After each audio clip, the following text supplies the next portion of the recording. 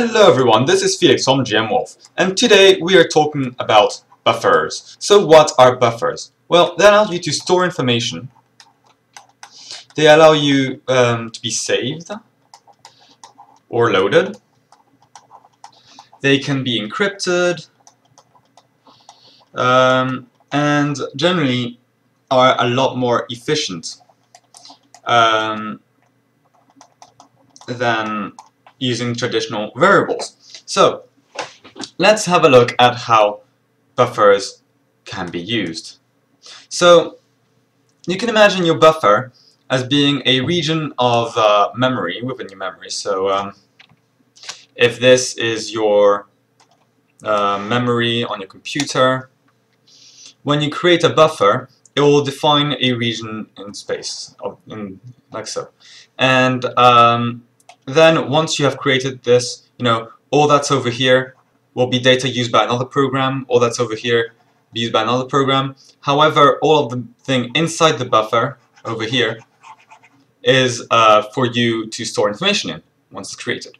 So um, when you create a buffer, you have to define its size, which is uh, basically this in bytes. In bytes. Um, and you have to decide what type of buffer it is. So what is uh, important to note about buffers is the way you store information on them. So uh, you can see if this were to be my buffer over here and I start uh, putting information in it so you know I may write some some data over here and it uses up this space uh, and next time I write data to it it will write more data uh, right next to it, like so. And the way it does this is by introducing something called a seek. So to start off with, the seek uh, of your um, buffer will start at the very beginning, like so. And when you start um, writing data to it, it will basically move the seek forwards, write in your data, which uh, will be over here, and the seek will now be in front of your data. And next time you write, or basically write the data in front of the seek, move the seek forwards again, uh, and it's now ready for some more data to be accepted.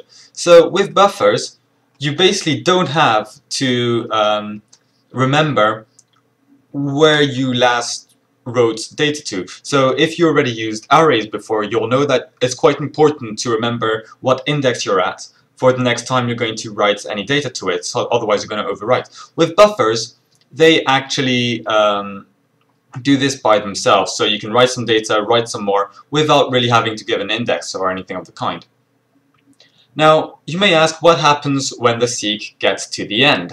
Well, that's a really good question, and this is where the different buffer types come in. So, the first buffer type is called uh, the buffer fixed. So the buffer fixed is actually really quite simple. When you write your data um, to your, when you have your buffer like so, whoops, should probably be using my pen. Can I not do this? No, I can't. Sorry, I'm using a program I'm not familiar with. And um, and it says this size like so, and you start writing data to it. When you get to the end, you are at the end. So you know this here is the limit. And there's nothing you can do. You just have to you know go back to the front and start overwriting all your data. There is you know and if you do try to write more it will simply you know say there is no more space in the in the buffer. The second type of buffer is called the buffer grow. And just as the name suggests it grows. So you can imagine having your buffer like this again and um, the limits are defined here and over here. And um, if you start you know putting some data in so like so once you get to this point once the seek gets to this point it will simply push the limit back. So you know the limit will be pushed back and it will allow for more data to be stored. And once again if you want to add more data it will simply grow the buffer some more make this straight. And uh, it will allow you to store more and more data. So the buffer, the grow buffer is really, really good if you don't know how much data you're going to have to store. So um, say you're you know you're storing loads and loads of user input and you need all of it. For example, you might want to store his name. You don't know how long it's going to be. Buffer grow is going to be what you want. Now the third uh, uh, type is called a buffer wrap. This one is quite cool um, because again name describes it pretty well I find it will wrap back to the front when you exceed maximum data. So you can have your limits here and here. And say you wrote a lot of data, everything is filled with data, and now you got to the end. What will happen is any further data you try to write will simply come to the front and overwrite what you had before. And it will do so automatically. So the seek, which was, uh, you know, here at the end, will jump back to the front over here. And so you don't have to remember anything. Um, you know, you don't have to keep track of where you're at before you have to come back and overwrite. It does it for you, which is really quite nice. The problem with buffer wraps is that you may start overwriting data that you actually needed. The reason you would use a buffer wrap is when you only need the last few pieces of data. Um, you know, you don't want to keep something that was, say, you know, five steps ago, then you'll make your buffer five, step, uh, five bytes long if you're only storing one byte per step, for example. And um, you, all you have to do is simply read whatever was uh, whatever's behind the seek, and you know it will keep on building behind it, and um, it really is quite useful that way. Now the last type is uh, actually a, a, really simple version. It's called the buffer fast. Uh, this is supposed to be a really fast kind of buffer. It is quite similar to um, our buffer fixed. So, you know, it, when you get to the end, you're at the end. You have to go back yourself in order to overwrite. It doesn't do it for you. However, the only difference is that it has uh, limited types. Uh, and what I mean by that is the type of data you can um, you, that you can store on here is uh, constricted. There's only a few. And this brings me to data types. What are they? So in GameMaker, we never have to deal with the different data types. However, in most other languages, you have to choose what kind of information you're going to store. So in GameMaker, you can just go variable is equal to 256, for example. You don't have to think about what you're doing. This is where it changes uh, what we're using buffers because when you're using buffers you have to be very precise about what information you're storing. This is because buffers will be able to be really efficient and uh, it's a lot more efficient for a computer if he already knows what he's storing. So the first type is called buffer U8. So what is buffer U8? So U stands for unsigned and 8 is a number of bytes, uh, bits actually it uses. And so it allows you to store numbers, an integer, between 0 and 255. And that is an integer, so I'm going to put an i in front to say it's an integer. The next type is called buffer S8. So uh, this is the same as before. And what this means is it is a signed 8-bit number. So signed means, um, you know, it has a sign in front, so plus or minus. So this is again an integer between minus 128 to, I'm going to put an arrow here so you don't confuse it with minus sign, uh, 127. Alright, so the next type is called uh, buffer U8, uh, U16, sorry. And you can probably see, uh, you know, a kind of recurring pattern over here. So again, it will be an integer, unsigned integer, so it's between 0 and um, now 16 means it has 16 bits. Now that means it can store 2 to the power of 16 which is 65,300 uh, sorry 530 uh, 65,535 so already you can store much bigger numbers uh, by using U16 similarly um, buffer underscore S16 will store um, you know an integer between minus 32,768 uh, all the way to 32,767. Now, you also have um, U32, which um, stores all the way up to 4 mil, no, 400, 4, 4, I'm not sure what this is, 4 billion, 294 million, 967,295. Um, again, S32 uh, would simply be, you know, half of that, etc., etc. So, um, and this exists all the way up to U64, which, if you're interested, oh wait, never mind, U64 doesn't exist. Um, it would be, I think, in other languages, but not in GameMaker as of now anyways. So U60, so it stops at U32. The next times are called uh, floats. So you have buffer underscore f16. Now a float basically means uh, is a floating point number. So that's uh, a number which has uh, you know a decimal point.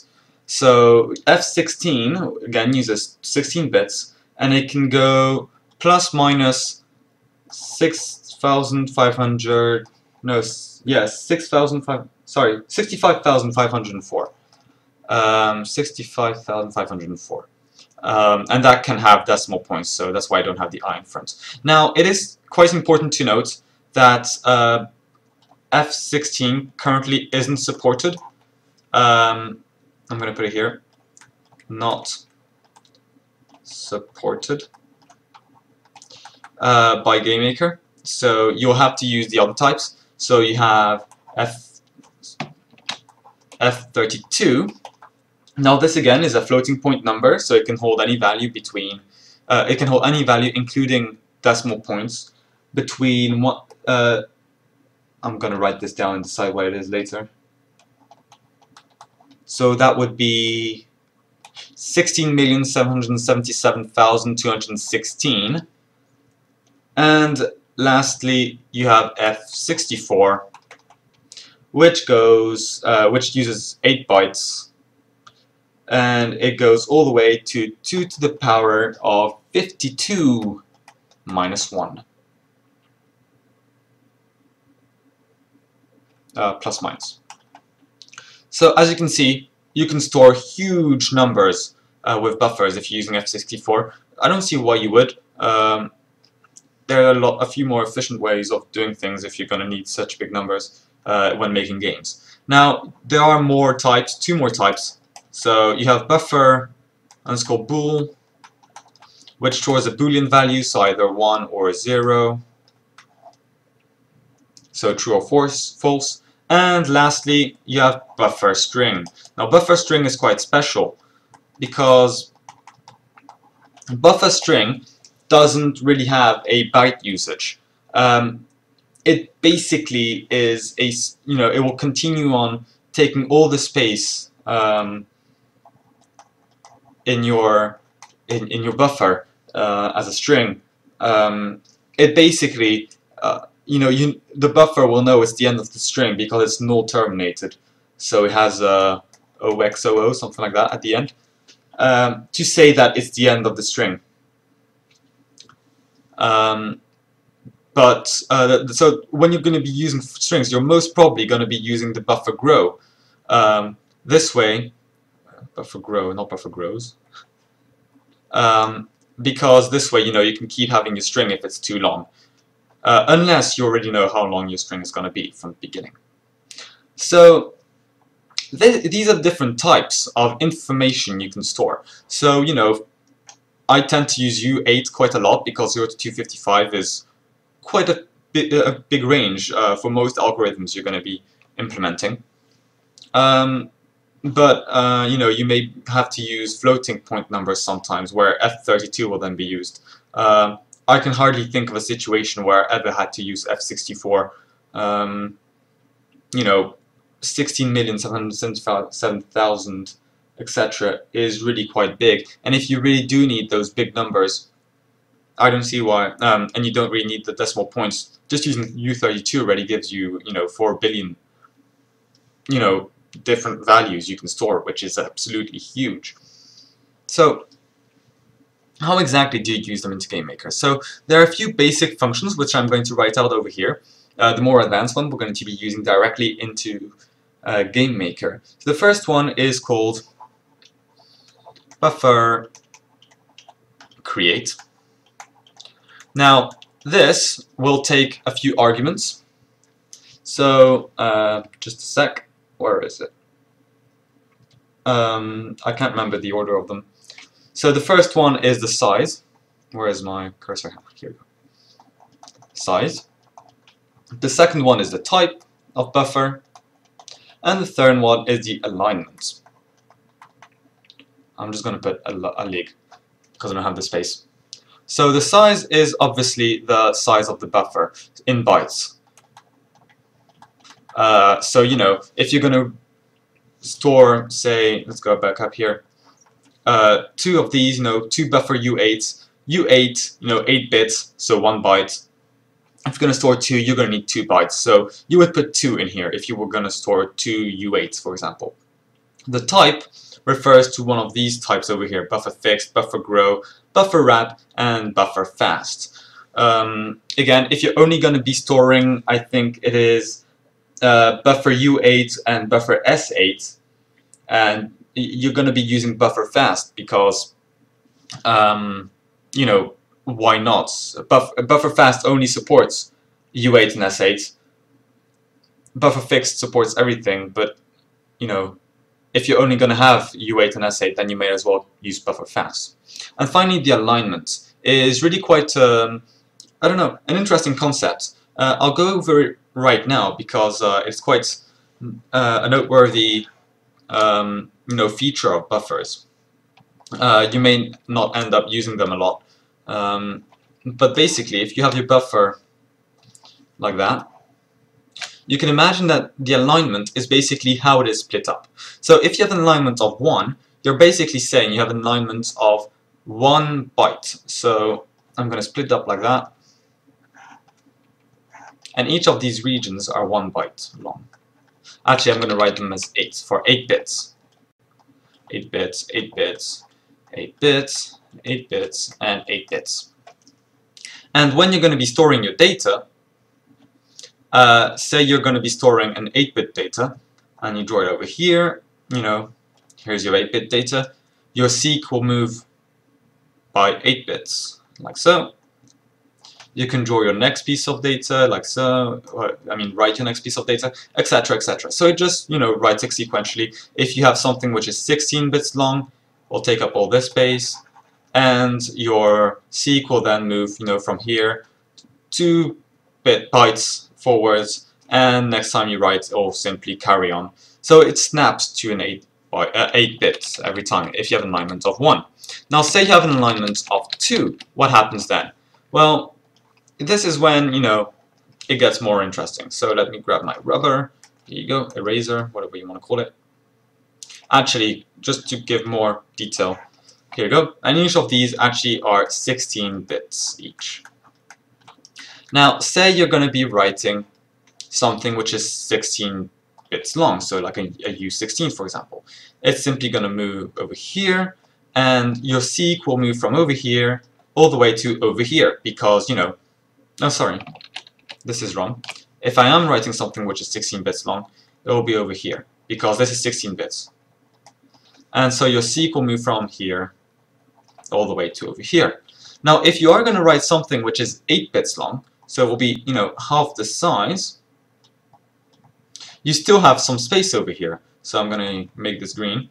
Space, see? There's some space left uh, 8 bits of space. However, because your alignment is of 16 bits, your seek position will move by 16 bits minimum every time.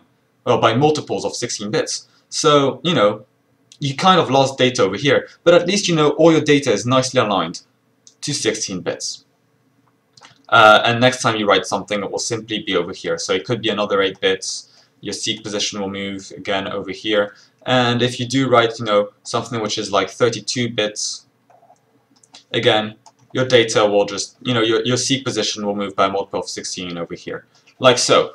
So this is what alignment is. It's more useful when using wrap buffers, for example, or when you're not quite sure what in what order your data is going to be stored in. Um, I haven't come to use it a lot. Uh, I just keep it to one most of the time. Um, I'm not entirely sure if it's more uh, efficient to have uh, an alignment uh, of 2, so 16 bits, if you're only going to be using 16 bits information. I'm not entirely sure about that. Um, I'm sure there's some information about that on the internet, but to be uh, perfectly honest, I haven't had many performance issues when using buffers because of how fast they are. So uh, if I come back to um, the buffer create, this is what alignment is over here. Uh, then you can write to your buffers using buffer write, right?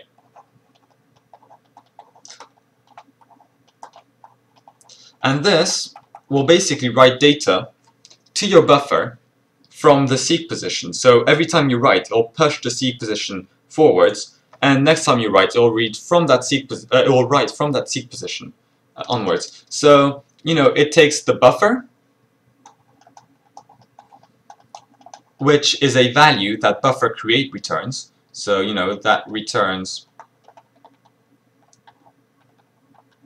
returns ID so this returns the ID of the buffer. And you know, you plug this in to here. I hope this is visible on your screen. It sure is over here. Um, next, the type, which is not the buffer type, but is actually the data type you want to you want to draw. Uh, you want to store. So this will be, for example, buffer U8 or buffer S8. You know, all the ones we wrote over here. And whoops, finally you have um, you have the data, the actual value you want to store. So if you're storing, you know, this will this will be the number number you're storing it. And next time you you know write this, uh, because the seek position has moved forwards, it will write it automatically in the right position. Now you have another function called buffer read. I think it's called buffer read. Now I could check if just in case. Yep, buffer read. And that also takes the buffer. Oops. Which is the same as this. And the type, and nothing else, obviously. And this will return the value. Now, it's quite important to note that buffer read will read from the, the seek position forwards. So if you have buffer, if you have, if you say write to the buffer, and then read from the buffer, you will not get your value back straight away because you have moved your, you know, if, if I make a new note here and quickly demonstrate this over here, say you write some data over here, your seek position will move forwards, and now if you try to read data, it will try to look over here. This is supposed to be an I. There you go. uh, it will try to look where, you know, over here, but there's nothing, so it will simply return 0. So what you have to do is put your seek position back at the front so that it is now here. And now if you try to read, it will return whatever is over here. So the function you use for that is called buffer seek. Um, this is supposed to have an R.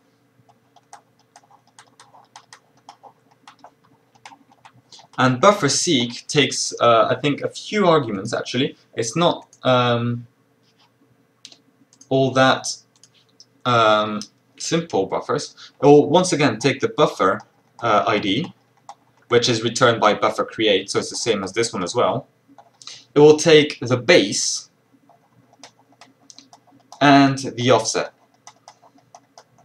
So what is the buffer, the, the, base? The base basically is um, where, uh, you know, the base of your offset. So the offset will say how many bytes away from the base you want to place a seek. And the base will either be buffer seek start, which is the very start of the buffer, buffer seek relative, which is the current position of the, of, uh, the seek position, and buffer seek end, which is the end of the buffer. And so if you say have the base being uh, buffer seek start, so the start, and offset being 0, you're basically setting it at the start. If offset was 1, it will be 1 byte away from the start, 2, 2 bytes, etc. If it was buffer seek end, it will be the same thing, but from the end instead. So this is the basic functions you want to you want to use for buffers. So that has been quite a, a lengthy explanation. Let's have a look inside uh, GameMaker how we can actually uh, use it. So let's create a quick object like so. Let's call it obj underscore buffer. Doesn't truly matter because we're only going to have one. We're not going to reference it or anything. And let's create a new create event. So remember, the first thing we want to do is actually create our buffer. So um, we're going to create a new variable called buffer and we're going to set it equal to buffer underscore create. And now we have to put our different um, variables. So let's say we have we want a 4 byte buffer, so we put a 4 inside the size. We want the buffer type to be buffer fixed to start off with. We're going to start with something quite simple. And the alignment will be of 1. We're not going to you know, mess around with alignments too much this uh, video because setting up an actual project that will require um, alignment to be, you know, apparent somehow and useful, uh, you know, takes quite some time. It's quite a, I'm not going to say advanced feature, I'm going to say it's, it's used for more advanced projects mostly. Anyway, so now we have our buffer ID stored inside a variable called buffer. We can start writing data to it. So let's use a function called buffer underscore write. And now we have three arguments once again. Now, we said that the first one was the ID of our buffer, which we called buffer. The second one is the type of data we're going to store. Now, let's think about what we're going to store. Let's say we want to store number 25. 25 is an integer, and it is um, between 0 and 255. So according to our notes over here, uh, we can use buffer u8. So this is what we're going to be using. Buffer underscore u8. Finally, we have the value. We said 25, so you write 25, and we end with a semicolon. Now, buffer right now a buffer can store 4 bytes, and we only used 1 byte. So let's just copy this over here, paste it, you know, four more times maybe, and we can now, you know, change those values over here. So let's make 58, maybe 210, and uh, 11. Right now, we basically have the first byte storing 25, the second byte is storing 58, the third byte is storing 210, and the fourth byte is storing 11. Now, our seek position is at the very end of our buffer because we used our whole buffer. And if we want to read from that buffer, we want to move our seek position back to the front. So what we use is the function called buffer underscore seek. Now we already looked at that. It uses three arguments. The first one being a buffer ID. We called it buffer. Our base, which we're going to you know use the start. So buffer underscore seek underscore start. And the offset. Now we want it to be the, the start again, so the start is 0 bytes away from the start, so we simply type in 0 and semicolon.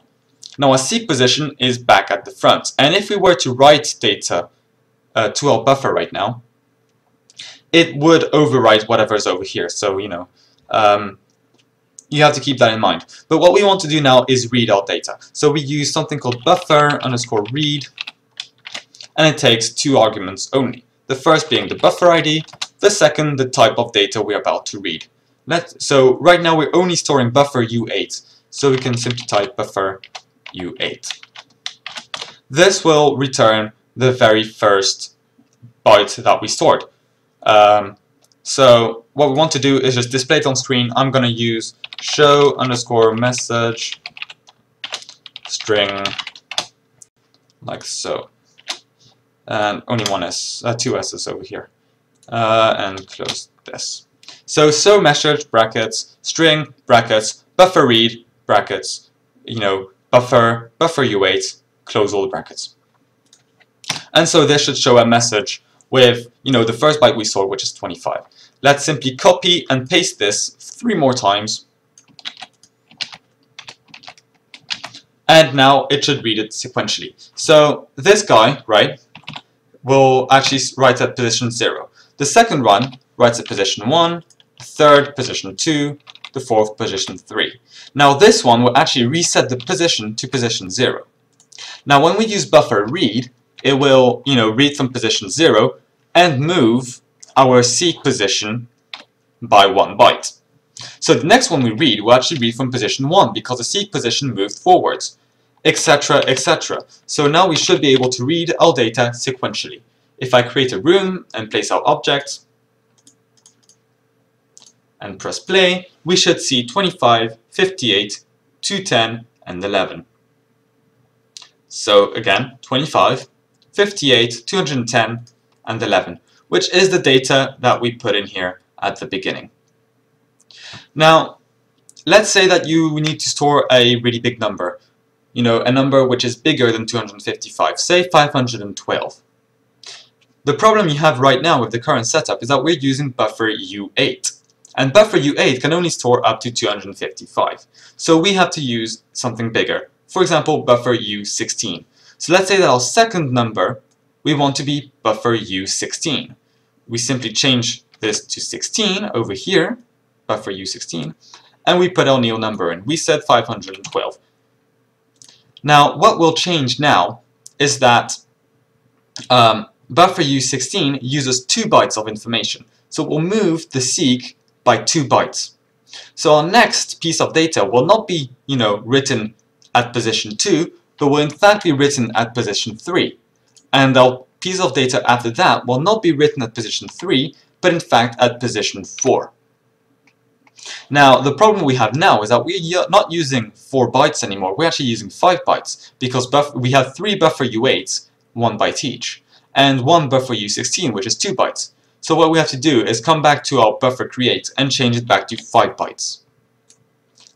Now this is still not going to work correctly because when we're reading, our second read is actually a buffer U8. So this is not going to give us the right value. It's going to try to read 8 bytes of a 16 byte number. So what we have to do is change him too to buffer U16 instead.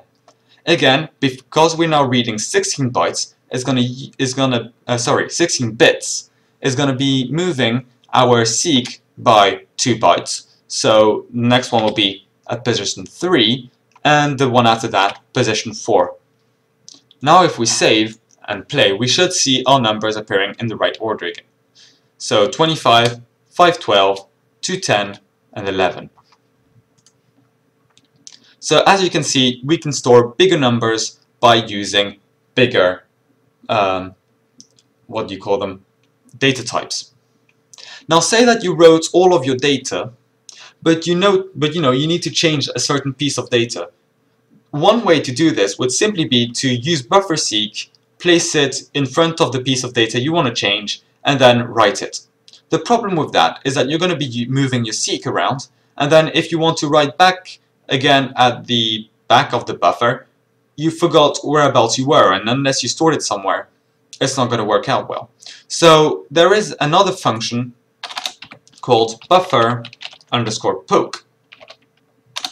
Buffer poke allows you to poke data into your buffer without moving the seek position.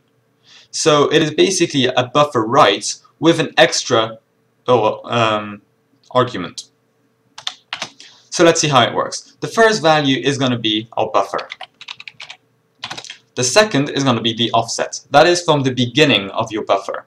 So if we want to change the third piece of information that we have in here, which is uh, from position 3 onwards, we're going to want an offset of 3 bytes. Next is the type, so we want to store a U8. And after that we have a value, which we're going to change from 210 to 5, for example close that, close the brackets, and now what will happen is at position 0, we're going to write an 8-bit integer of 25. After that, at position 1, we're going to write a 16-bit integer, 512. After that, two, uh, two bytes later, so position 3, we're going to be writing a 1 byte 210 and a 1 byte 11 at position 4. Now buffer poke we'll go back and say actually position 3 is now going to store 5. So basically we're overwriting what we did in this line over here. Now this line over here will no longer read 210 but 5. So if we press play and let it load, we see 25, 512, 5, 11. So using buffer poke, you can change the order in which you write your data. Uh, this is more useful if you have a buffer that you're going to be, you know, storing uh, specific data to. For example, you know, you know the first two bytes are going to be the position of the player, the next two bytes are going to be, for example, uh, its health, etc. And you want to change one of the values. You don't want to rewrite everything. You just want to change one thing. This is when you would you would be using buffer poke. Now, similarly, you can do something uh, similar with um, for reading, and it's called buffer peek. So after all this, I can use buffer underscore peek. It will take a buffer, which is our buffer ID, the offset, which is again the offset from the beginning. So say we want to read the second number, which is by the way AU16. Um, without moving the seek position, we simply take an offset of 1, because it's 1 byte away from the front, and the type. So our second number is a buffer underscore U16. Now, again, this will return some value, so I'm going to copy and paste the show message string part over here, just so that we can see, um, you know, that it returns the correct value. And it should give us our second piece of data. So we have 25, 512, 511, and now we have 512 again, which is what buffer C, uh, peek told, told us. So this is it for reading and writing, basically. Um, I think there are a few other uh, things that may be worth mentioning, uh, although I won't be covering those in this tutorial um, because it isn't quite the basics. So what we're going to be looking at now are some, you know, simple ways to save and load your buffers. So there are two functions, one of them being buffer save, the other one being buffer load. So say over here I use the function buffer underscore save. It will take two arguments. The first being our buffer, the second being the file name. Now this will be relative to, you know, um, the sandbox location of your um, project. And we're just going to call it buffer dot buff buf. It can be dot anything you like. It could even not take an extension. I'm just going to call it dot buff because it's a buffer. Now, what we can do is simply load it. You can do this anywhere within your project at any time. I'm going to do it right after, which is kind of stupid because why would you save it then load it straight after? But basically, buffer save, first of all, will create a file that contains your buffer information. Buffer load will create a buffer that contains the information stored within the, the, the file that you specify. So I can go buffer underscore 2 is equal to buffer underscore load and the file name buffer.buff.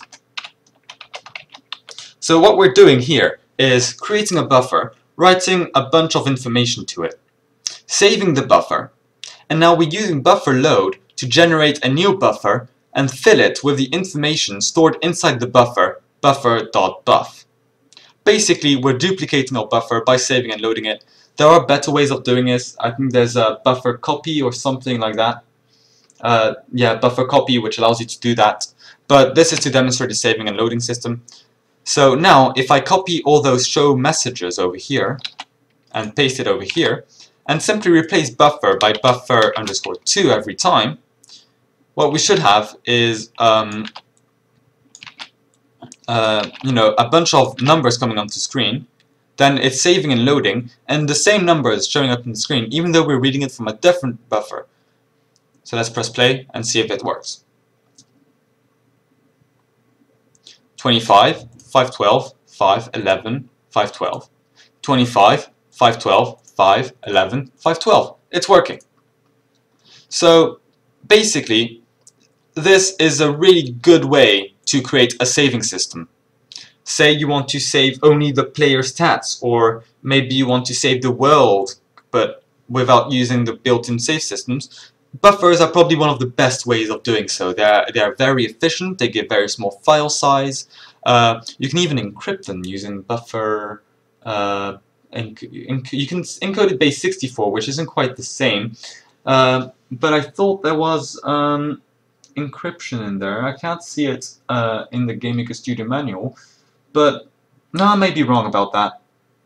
But you can most certainly do stuff like get the MD5 or, or the SHA1 of the buffer, which is basically a um, uh, a unique um, encrypt like undecryptable uh, piece of data for that uh, buffer. So if you're doing some things while sending via the internet um, and you want to send you know some encrypted data um, say you're using passwords, for example, you don't want to be storing your password online. You want to be storing an MD5 of the password online, uh, just to check if it's the same, because it's very rare for two strings to have the same MD5. Um, so yeah, you can do a lot of stuff with buffers. It's really well documented as well. I think it's one of the best documented parts of the GameMaker manual. Um, so you can go and read all about it. I definitely recommend using buffers in most of your projects uh, if you're going to do anything with data. They're very, very powerful. So I've been Felix, and thanks a lot for watching. If you found this at all useful, or you want to see more of those videos, please like and subscribe. Um, and if you have any questions about buffers or an anything about game creation with GameMaker in general, please ask in the comments below. And I'll see you guys later.